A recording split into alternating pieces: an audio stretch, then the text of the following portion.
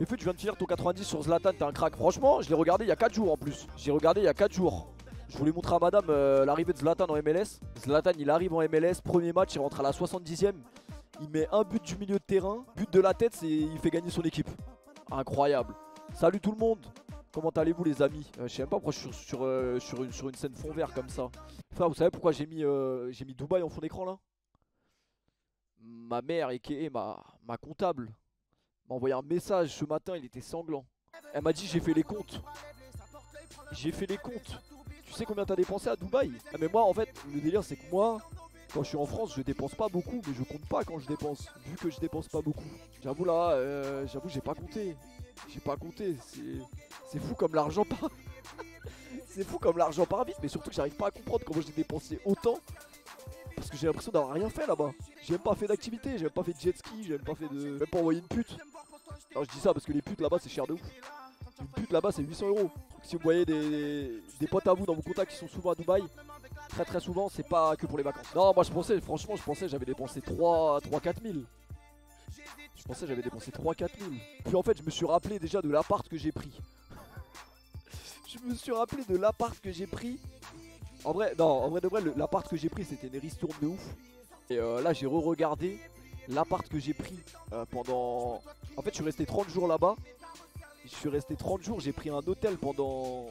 Non, je suis resté 22 jours exactement. J'ai pris euh, un hôtel pendant 15 jours et j'ai rajouté, euh, j'ai rajouté une chambre, une chambre enfin un appartement 8 euh, ou 9 jours. L'hôtel était lourd. Je crois l'hôtel pour 15 jours ça m'a coûté 3000 balles déjà. Non en vrai j'ai dépensé 10 000 euros là-bas. Dinguerie. C'est pour ça là j'ai mis un fond d'écran pour essayer de rentabiliser parce que 10 000 euros j'ai l'impression d'avoir rien fait là-bas. Faut que j'ai l'impression d'y être toujours. Pour ça 10k. 10k je vous jure j'ai rien fait. Après j'ai fait quoi? J'avoue je me suis en fait je me suis envoyé chez Nike là-bas et le deuxième appart que j'ai pris. Wesh, mais l'appart c'était une dinguerie aussi, les frères. T'es mal l'appart de fou furieux que j'ai pris. J'ai dit, bah en fait, c'est parce que la daronne elle, m'a rejoint. C'est-à-dire, j'ai dit, je vais pas. Je vais pas emmener ma daronne, euh, je sais pas où, tu vois. je me suis dit, on va prendre un petit appartement, on pourra faire à manger, tranquille. Non, l'appart c'était une dinguerie. L'appart c'était une dinguerie. T'es mal la vue que t'avais. Ah, c'est le. C'est le c'est le spot le plus incroyable de la ville. Là, je m'envoyais, je suis arrivé, qu'est-ce que j'ai vu? Je vois quoi? Il y a une play. Il y a une play, il y avait la play normale. Ah, je me suis envoyé du club pro, t'as peur. Ah, j'étais comme chez moi. T'es mal la taille de la table. Tous les gens qui sont sur le stream, ils auraient pu venir manger. En fait, la dinguerie, vous savez, c'est quoi?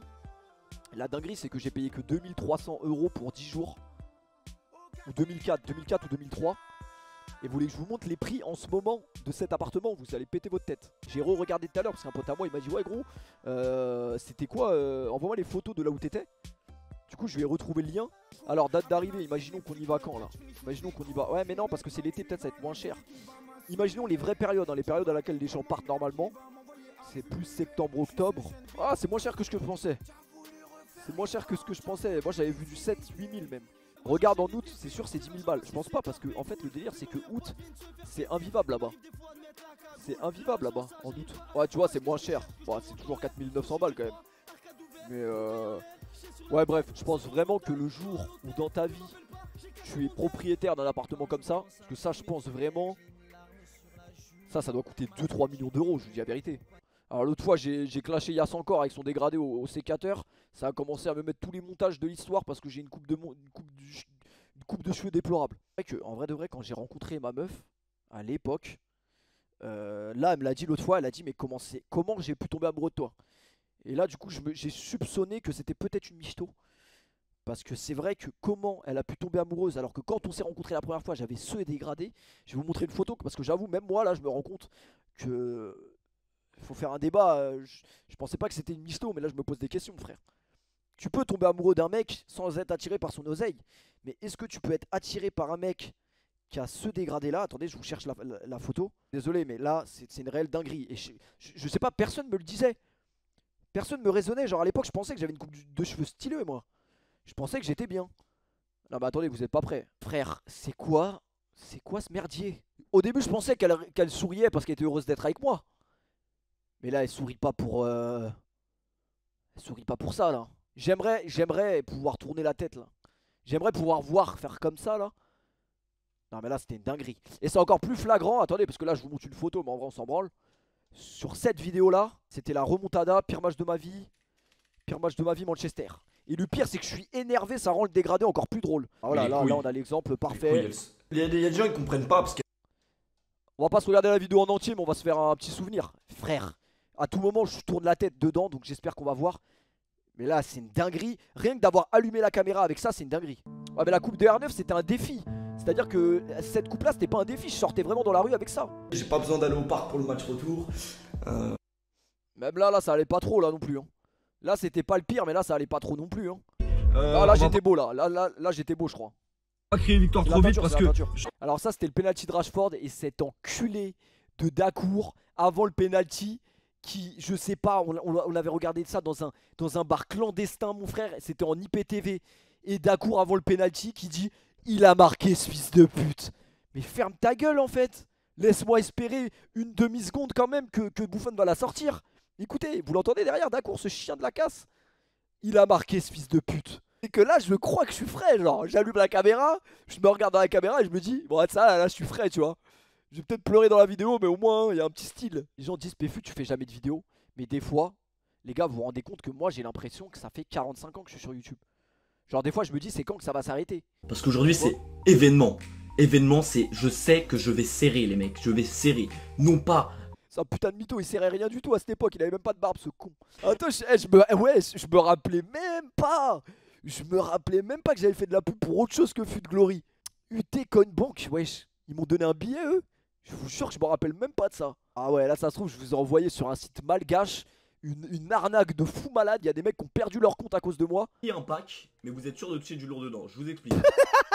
il est grave pas convaincu par ce qu'il raconte, ce petit con.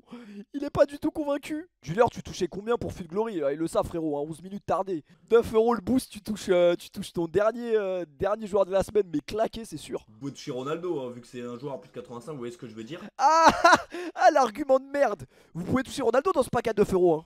Parce que c'est des joueurs à plus de 85. Bah, désolé si j'ai arnaqué des gens, c'était pas de ma volonté, mais à l'époque, les gars, j'avais besoin d'aller au grec le midi. Donc, euh... alors eux, c'est sûr, ils ont payé. Parce que moi, généralement, déjà, je fais pas beaucoup de placement de produit. Mais alors, si j'ai fait une vidéo que avec le placement de produit, ah, je suis désolé, je suis une ordure.